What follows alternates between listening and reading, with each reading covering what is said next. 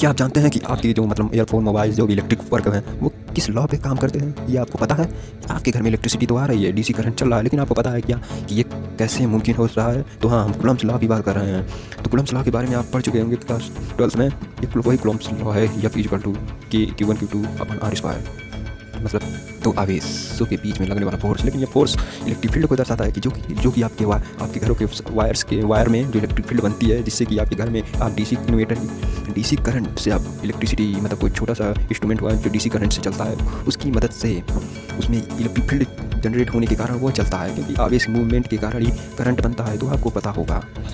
तो वीडियो को स्टार्ट करते हैं। अगर आप गुलाम्स के जो पूरा नाम जानना चाहते हैं तो उसे पढ़ें और समझें और उनकी जन्मतिथि मतलब उनकी जीवन परिचय है लेकिन यहाँ पर आपको हिंदी का पेपर देना नहीं तो आपको ये छोड़ सकते हैं। बस गुलाम सलाम के बारे में जानिए। ज़्यादा जानने की आवश्यकता नहीं है क्योंकि आपकी हिंदी के पेपर में आएगा नहीं कि ये कौन थे। हाँ अगर वाह वाह गुलाम सलाम गुलाम सलाम क्या है? गुलाम सलाह मतलब ये गुलाम से जो थे वो मतलब एक मतलब एक आर्मी के जन, जनरल थे मतलब आर्मी में ब्रिटिश ब्रिटेन के जो थे मतलब आर्मी के थी थे मतलब सैनिक थे ये कह सकते हैं। इन्होंने कुछ मतलब साठ साल की उम्र में इन्होंने रिटायर ले लिया और रिटायर आने के बाद ये घर पर ही एक्सपेरिमेंट करना लगे लगे एक्सपेरिमेंट करने लगे। लेकिन ये जो आवेश का जो मतलब जो एक दूसरे का अट्रैक्ट रिपल्सन जो है वह शायद सोलह सौ ईस्वी में ही खोजा गया था लेकिन उस पर काफ़ी विचार नहीं हुआ क्योंकि उस समय तो खोज लिया गया कि दोनों क्यों चिपक रहे हैं। लेकिन जब इन्होंने इस पर एक्सपेरिमेंट किया और इनके काफ़ी मेहनत किया और यहाँ सफल भी प्राप्त हुए और इन्होंने इन्होंने ही ये ये सूत्र मतलब सूत्र का रचना किया मतलब कह सकते हैं, खोज किए कि दो चार्जों पे स्टे फोर्स कैसे लगता है मतलब रिपल्सन और अट्रैक्शन मतलब दो आवेश पर फोर्स तो इन्होंने और भी बहुत इन्होंने सर पहले शीशे के जार के अंदर एक रॉड को मतलब एक रॉड को स्टेबल कर कर मतलब एक रॉड को स्टेबल कर कर और उसको एक पंखे की तरह से बनाकर उसमें एक रॉड रख दिए, जिस पर जिस पर कोई मतलब जिस पर कोई चार्ज नहीं था। लेकिन जैसे ही आप उन्होंने रॉड को चार बाहर एक रॉड लेकर प्लास्टिक सी रॉड लेकर, आवेश उत्पन्न करके जैसे उस रॉड पर छुड़ाते थे तो उस रॉड पर ही आवेश जनरेट हो जाने के कारण वह जो जार में रखी, जो थी वो तुरंत आकर्षण हो जाता था कभी कभी वो रिपल्सन हो जाता था। और यही कारण था उनका। यह सूत्र को खोजना कि ये क्यों आगे पीछे एक बार अट्रैक्ट कर रहा है और एक बार रिपल्सन कर रहा है। तो उन्होंने खोजा और इन्होंने यह सूत्र दुनिया के सामने प्रस्तुत किया। और कि यही के, कि ये कांस्टेंट है मतलब ये मतलब ये सूत्र को ड्राइव नहीं किया गया है। जैसे कि बहुत लोग बहुत विद्वान थे कि जो अपने अपने मैथ के हिसाब से वो ड्राइव मतलब ड्राइव कर देते थे कि सूत्र को। लेकिन यह सूत्र एक्सपेरिमेंटली देखा गया है ना इसका ड्राइव है। मतलब इसके डिराइव नहीं किया गया है। बस इन्होंने देखा कि यह दूरी के हिसाब से मतलब दूरी को आप जैसे जैसे बढ़ाएँगे फोर्स की वैल्यू कम होगी, जैसे जैसे आवेश को बढ़ाएँगे फोर्स अधिक होगी। तो ये काफ़ी देखा गया और यही एक्सपेरिमेंटली ऐसे डिराइव नहीं किया गया है। तो हम बिग कंसेप्ट सबसे बड़ा कंसेप्ट क्या रहा? क्योंकि सबसे इनका माना सबसे बड़ा कि अगर कोई आवेश मूव करता है तो वह इलेक्ट्रिक फ़ील्ड इलेक्ट्रिक फ़ील्ड कर इलेक्ट्रिक फ़ील्ड के साथ साथ वो मैग्नेटिक फ़ील्ड का भी जनरेट करता है। जो मूव इलेक्ट्रिक फ़ील्ड ना कि मैग्नेटिक फ़ील्ड भी जनरेट करता है, वो एक करंट करंट भी जनरेट करता है, जिससे आपके घर में इलेक्ट्रिक इलेक्ट्रिक करंट से इलेक्ट्रिक करंट से आप हर अप्लायंस मतलब हर इंस्ट्रूमेंट को आप चलाते हैं अपने घर के अंदर।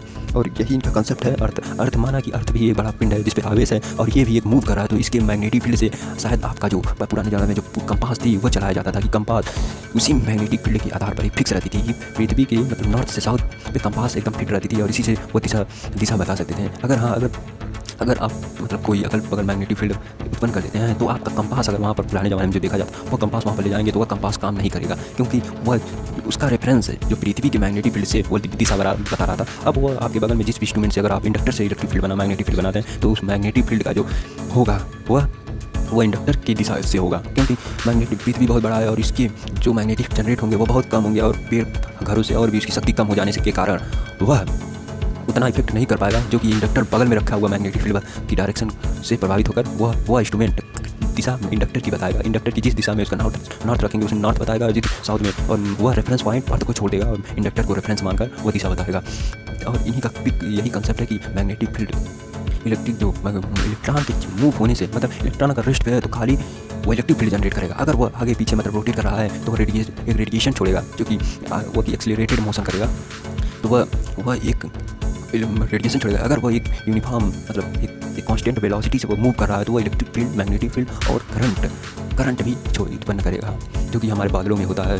वो टक चिंगारी नहीं वो करंट है जो कि आवेश रगड़ने से आवेश इतना अधिक उत्पन्न होगा। अगर देखिए हमने आप आप कभी क्लास स्कूल में पूछे होंगे कि टीचर से कि कि आप बादल में ये कैसी बिजली चमकती है? कि पूछा होगा।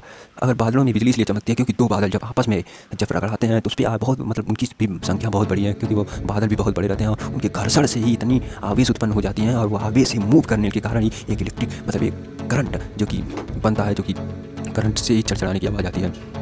और यूज़ ऑफ़ इलेक्ट्रिसिटी ये ये तो मैं वीडियो में बता ही चुका हूँ कि यूज़ इलेक्ट्रिक जो इलेक्ट्रिक फ़ील्ड है मतलब आयर जब आप पॉजिटिव जब कोई छोटी बैटरी का पॉजिटिव और नेगेटिव टर्मिनल से जुड़ते हैं तो पॉजिटिव से आप मतलब आपको बताया गया होगा कि पॉजिटिव से बल्ब इलेक्ट्रिक फ़ील्ड जनरेट होता है नेगेटिव इलेक्ट्रिक फ़ील्ड खत्म होता है, इसलिए पॉजिटिव टर्मिनल से इलेक्ट्रिक फ़ील्ड उत्पन्न होकर और नेगेटिव खत्म होता है, और वायर में ऐसे इलेक्ट्रिक फ़ील्ड और इसी के बिलोंग मतलब नेगेटिव आयन से इलेक्ट्रिक इलेक्ट्रिक इलेक्ट्रॉन निकलकर मूव करते हैं इलेक्ट्रिक इलेक्ट्रिक फ़ील्ड से इलेक्ट्रिक फ़ील्ड से निकलते हैं, और ऊपर एक फोर्स रहता है इलेक्ट्रिक फ़ील्ड का फोर्स बस फोर्स में क्यू कम है क्यू एक ही क्यू रहता है, जिस क्यू से वो, जिस आवेश बनता है मतलब इसीलिए उस पर एक फोर्स लगता है जो कि वो नेगेटिव टर्मिनल से पॉजिटिव टर्मिनल की ओर इलेक्ट्रॉन मूव करता है और करंट की दिशा पॉजिटिव से नेगेटिव टर्मिनल की ओर होती है और इसी से हमारे घर के अप्लायंस है लेकिन एसी करंट की जो मूवमेंट होती है, वह एक अल्टरनेट होती है मतलब आगे पीछे ही मूव करते हैं। इसी के लिए उनका साइन भी इलेक्ट्रिसिटी होता है और इसी से वो अच्छी भी है क्योंकि उस पर इंसान की बचने की क्षमता अधिक है। लेकिन डीसी करंट इंसान को तुरंत ही मार देता था। ये बहुत खतरनाक है। और कहने की बात है कि जो है ये गुलाम्स हैं, ये इंडिया में भी आए हुए थे जब ब्रिटेन शासक मतलब चला था। इनका जन्म आपको पता होगा कि सन मतलब अठारह सौ छः ईस्वी में अगस्त अठारह सौ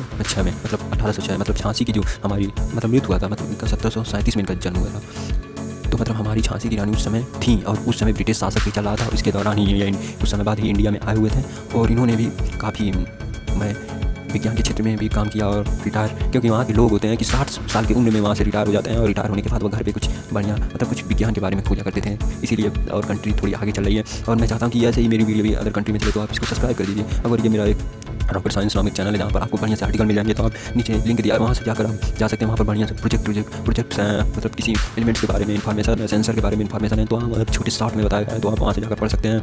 और रॉकेट साइंस और थैंक यू फॉर वॉचिंग और एनी क्वेश्चन तो आप कमेंट आउट ज़रूर करें। और अगर आप ऐसे बेहतरीन वीडियो चाहते हैं लाने के लिए तो आप हमें सब्सक्राइब करना और सपोर्ट करना होगा। और ये काफ़ी बड़ा नंबर है, लेकिन आप सब्सक्राइब कर जल्दी से पूरा कर सकते हैं। अगर आप एक एक लोग सब्सक्राइब करें तो ये जल्दी से ये नंबर कंप्लीट होने के बाद हम भी और भी बेहतरीन टीचर लाने की कोशिश करेंगे कि जो भी आपको पढ़ने में मदद करें तो प्लीज़ जल्दी सब्सक्राइब करिए कि और भी बेहतरीन टीचर हम लाकर अपने इंस्टीट्यूट में मतलब आपको एजुकेशन प्रोवाइड कर सकें तो वीडियो और पॉजिटॉन चैनल को सपोर्ट करिए। आफ्टर कुछ दिनों के बाद में ये भी होगा।